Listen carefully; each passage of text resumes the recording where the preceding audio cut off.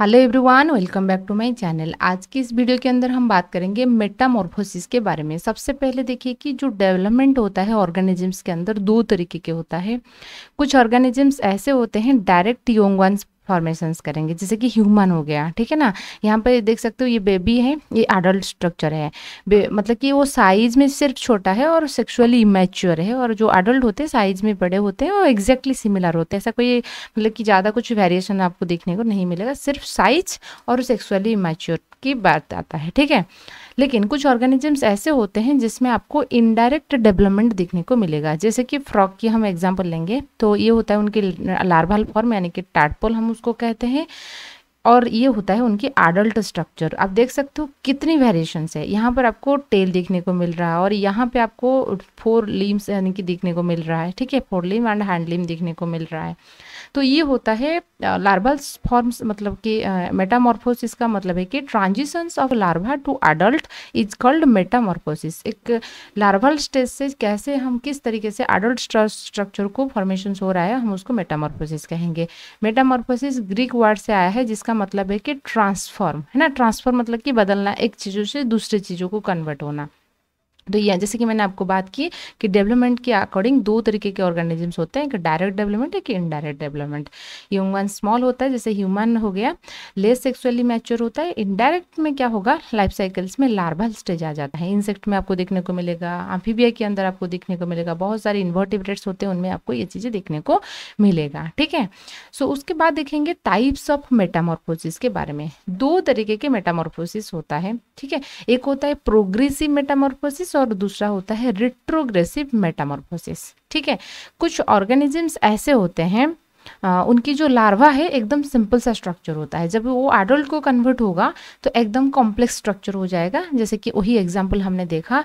हमने देखा कि कैसे मतलब कि टैडपोल से आपकी फ्रॉग बन रहा है। ये सिंपल सा स्ट्रक्चर है, ये थोड़ा कॉम्प्लेक्स है, ठीक है ना?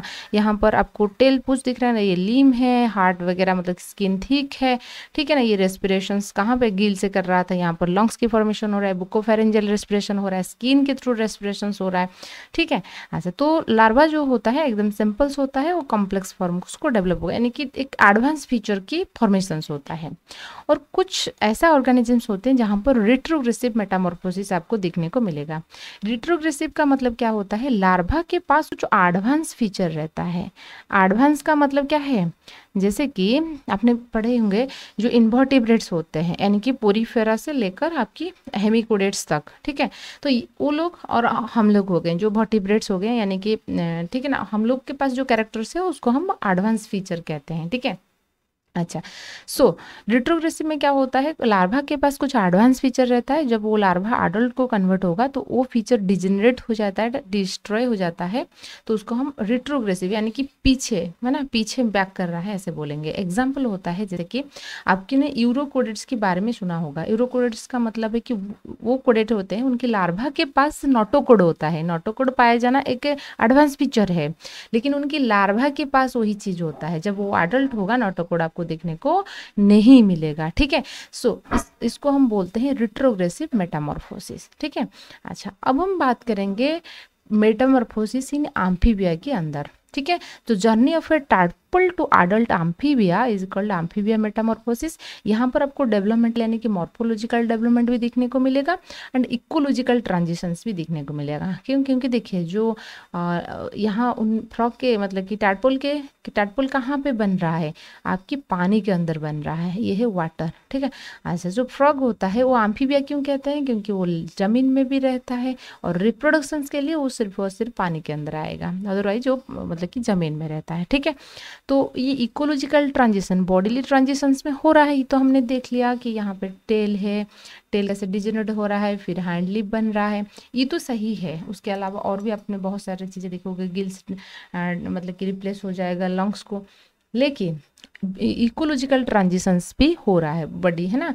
अच्छा तो अब हम देखेंगे larval stage where development growth and uh, dispersals occur and adult form for the reproductions. Larval stage में उनकी ग्रोथ होता है और कोई चीज़ों को डिस्पर्सल यानी कि मान लीजिए टेल रीजन को उसको डिजेनरेट डिटैच करवाना है वो चीज़ होता है। लेकिन जो एडल्ट स्टेज होता है वहाँ पर वो रिप्रोडक्शंस के लिए वो चीज़ें पाया जाता है। इकोलॉजिकल एस्पेक्ट से यदि हम देखेंगे हैबिटेट चेंज होगा और उनकी फ़ूड हैबिट जो होता है वही भी चेंज होगा। लार्वल स्टेज होता है हॉर्बीवरस होता है एंड जो एडल्ट होते हैं वो कार्निवरस होते हैं। आपने देखे होंगे फ्रॉक जो होते हैं ना कभी कभी इंसेक्ट खा लेते हैं आपने देखे होंगे वो कार्निवरस होते हैं। सो एक प्रोग्रेसिव मेटामॉर्फोसिस है है ना? अच्छा नेक्स्ट बात करेंगे आम्फीविया के अंदर आपकी उन जो जर्नी है यानी कि मेटामॉर्फोसिस में क्या चीज़ होता है ये थोड़ा देखिए। सो so, हम यदि उनकी लार्वा को फोकस करेंगे आम्फीविया की लार्वा को फोकस करेंगे उनकी लोकोमोशंस के लिए आपको टेल दिखने को मिलेगा ठीक है ना? यहाँ पे आप देख सकते हो वहाँ पर ये टेल है। ठीक है? अच्छा लोकोमोशंस के लिए उनकी टेल होता है एंड रेस्पिरेशन गिल्स के हो गिल्स के थ्रू होता है, यानी कि मछली जैसे ही रहेंगे, पानी के अंदर रहेगा। एक्वाटिक जो डिजल ऑक्सीजन होता है, पानी के अंदर जो डिजल ऑक्सीजन होता है, उसको कैप्चर करने की कैपेसिटी गिल्स के पास होता है। ना तो लंग्स के पास कैपेसिटी नहीं है, ठीक है? नाइट्रोजनस वेस्टेज अमोनिया है। क्यों? क्योंकि वो पानी में रह रहा है और पानी अमोनिया को निकालने के लिए ज़्यादा वाटर की ज़रूरत होता है तो वही मोडिफिकेशन उनके अंदर होता है। इंटेगिमेंटर और thin bilayer epidermis and granular gland जो होता है, वही प्रेजेंट होता है। लार्वा वो एक्वाटिक एनवायरमेंट में रहता है और हॉर्बीवोरस होता है। प्लांट प्रोडक्ट्स की कंज्यूम करेगा, ठीक है ना? तो वो क्या क्या चेंजेस आएगा देखिए। जो लोकोमोशंस था, उनके लार्वा के टेल वही रिप्लेस हो जाएगा लिम को, यानी कि हैंड लिम को रिप्लेस हो जाएगा। ठीक है? यहाँ फिगर पे भी आप देख सकते हो, ये टेल था, ये कैसा रिप्लेस हो गया। हैंड लिम को, ठीक है? अच्छा जो रेस्पिरेशन गिल्स के थ्रू हो रहा था वो स्किन को अंडर लंग्स को डिस्प्रेस हो जाएगा नाइट्रोजन स्टेज अमोनिया था, वो यूरिया को कन्वर्ट हो जाएगा। इंटेगोमेंटर जो बाइलर एपिडर्मिस था ग्लैंडुलर लेयर्स प्रेजेंट था, वो थिक लेयर को कन्वर्ट हो जाएगा। लार्वा एक्वाटिक एनवायरमेंट में था और एडल्ट जो होंगे, वो टेरेस्ट्रियल मोड ऑफ़ लाइफ जिएँगे और जब ज़रूरत पड़ेगा, पानी के अंदर आएँगे रिप्रोडक्शन के लिए। हॉर्बीवरस था लार्वा आपके एडल्ट कार्निवरस हो जाएगा, ठीक है? ये था पूरा का पूरा मतलब कि क्या क्या चेंजेस हम मतलब कि मेटामॉर्फोसिस के दौरान हो रहा है इसके बारे में। अब हम देखेंगे कैसे हो रहा है। Morphological changes associated with amphibia metamorphosis कैसे हो रहा है। स्पेसिफिकली जो भी चेंजेस होगा मेटामॉर्फोसिस के दौरान, वो इनिशिएट हो रहा है थायराइड हार्मोन की, है ना? थायराइड ग्लैंड की जो हार्मोन होता है, यानी कि थायरोक्सिन ठीक है ना? दो हार्मोन होता है, एक थायरोक्सिन और एक ट्राई आइडो थायरोनिन थायरोक्सिन को हम टी फोर बोलते हैं एंड ट्राई आइडो थायरोनिन को टी थ्री बोलते हैं. अब सिंपल सा T three and T four ऐसे बोल सकते हो। The level of through blood reach all the organ of the larva so ये जब भी थायराइड ग्लैंड बनने के बाद हार्मोन सिक्रेशन होगा, हर एक ऑर्गन के पास इनकी रिसेप्ट होता है, वो जाने के बाद, वो एनकाउंटर होने के बाद मतलब हार्मोन जाने के बाद they can respond four way में रेस्पॉन्ड करेंगे। सबसे पहले कुछ ग्रोथ होता है। ग्रोथ का मतलब है कि लिम्फ फॉर्मेशन होगा, टेल की जगह के अंदर लिव्स फॉर्मेशन होगा। दूसरा चीज़ होता है कि लिम्फ फॉर्मेशन होने के बाद टेल की डेथ होता है। ठीक है? जैसे आपने फ़ोटो में भी यहाँ पे देखे होंगे, देखिए, यहाँ पर टेल है, यहाँ पर भी वो भी, अभी भी टेल है, लेकिन फिर लिम फॉर्मेशन हो गया। लिम फॉर्मेशन यहाँ पर देखिए टेल है, यहाँ पर टेल नहीं है। ठीक है? तो ये चीज़ होता है। डेथ टेल की डेथ होगा। रीमॉडलिंग ऑफ़ इंटेस्टाइन मतलब कि क्या होता है? रीमॉडलिंग का मतलब कि उनकी जो इंटेस्टाइन था, वो हॉर्बीवोर फूडिंग के लिए अडेप्टेड था हाईली कॉइल्ड था और बहुत लेंथ था। तो कार्निवर के लिए थोड़ा छोटा सा लेंथ हो जाता है। और री स्पेसिफिकेशंस मतलब कि कुछ एंजाइम्स ऐसे होते हैं उनके लीवर के अंदर, क्योंकि वो हॉर्बीवरस था। हॉर्ब हॉर्बीवोरस चीज़ों को डाइजेस्ट डाइजेस्ट करने के लिए, यानी कि प्लांट प्रोडक्ट को डाइजेस्ट करने के लिए कुछ अलग एंजाइम की ज़रूरत होता है। एनिमल प्रोडक्ट को डाइजेस्ट करने के लिए कुछ अलग एंजाइम्स की ज़रूरत होता है। तो लीवर में पहले जिस एंजाइम्स को मान लीजिए एक्सप्रेस हो रहा था एंजाइम्स बन रहा था, अब कोई दूसरा एंजाइम्स बनेगा? ठीक है? मान लीजिए इस एंजाइम्स एडल्ट के स्ट्रक्चर में बनेगा। तो अब जैसे बात करेंगे ग्रोथ लोकोमोशन स्टेल में प्रेजेंट होता है। जब भी due to low concentration of T hormone limb formation होगा। तो इसका मतलब ये है कि आम्फीबिया के अंदर जो थायराइड हार्मोन होता है, वो मेटामॉर्फोसिस के दौरान उनके कंसंट्रेशन लो होता है। लो होने की वजह से लिम फॉर्मेशन स्टार्ट हो जाता है। First all adult structure formation होगा, उसके बाद जो चीज़ रहता है डेथ करवाना है, उसके बाद डेथ होता है। Hand limb and the fore limb फिर हम देखेंगे सेल डेथ की। टी थ्री यानी कि ट्राई था induces the certain larval specification structure to die मतलब कुछ चीज़ों को बॉडी से निकालने के लिए वो टी थ्री इंड्यूस करता है।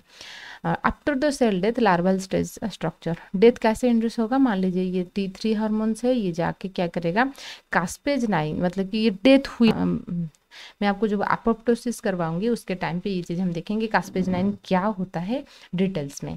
क्या होता है? जैसे कि नॉर्मली ओल्ड एज के बाद सभी लोगों का डेथ होता है ना? तो एक्सीडेंटल डेथ एक होता है एज नहीं हुआ है फिर भी डेथ होता है या कोई डिज़ीज़ की वजह से।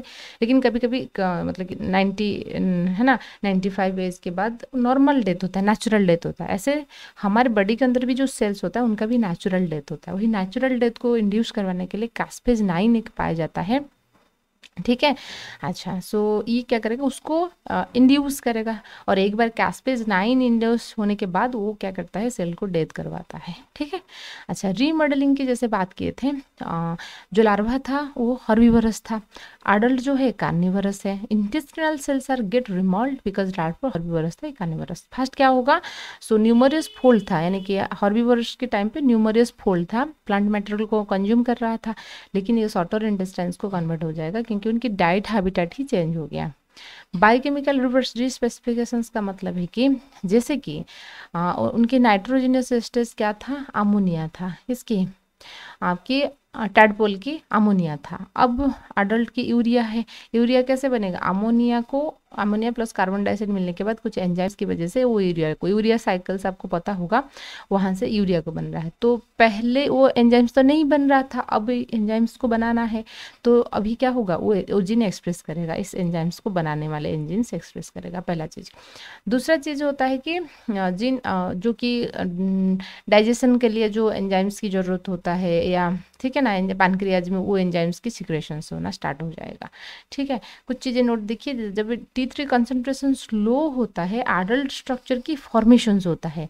जब टी थ्री कंसनट्रेशन हाई हो जाएगा जो लार्वल स्ट्रक्चर है उनका डेथ होता है डिस्ट्रक्शन होता है जिसको हम रिजर्शन कहते हैं।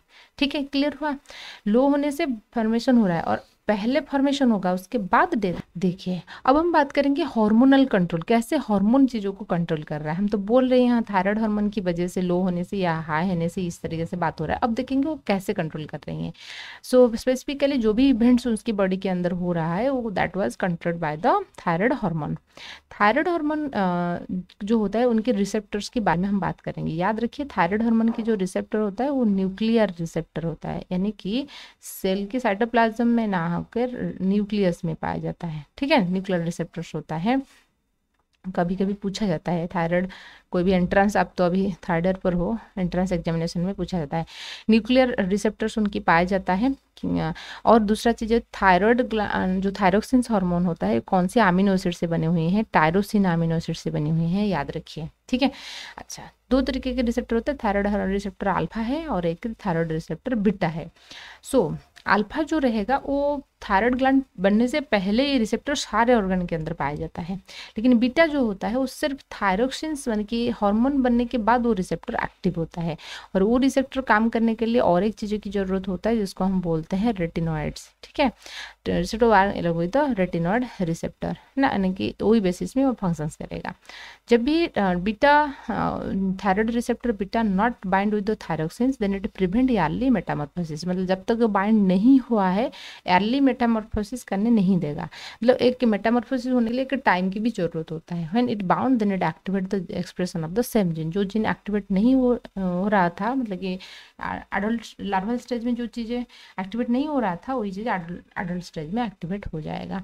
आई होप आपको आम्फीबिया मेटामॉर्फोसिस क्या होता है? आम्फीबिया की मेटामॉर्फोसिस किस तरीके से हो रहा है? उनकी मॉर्फोलॉजिकल डिफरेंसेस और उनकी हार्मोनल रेगुलेशंस के बारे में समझ में आ रहा होगा। वीडियो पसंद आए तो लाइक कीजिए सब्सक्राइब कीजिए, आपके दोस्त के साथ भी शेयर कीजिए। Thank you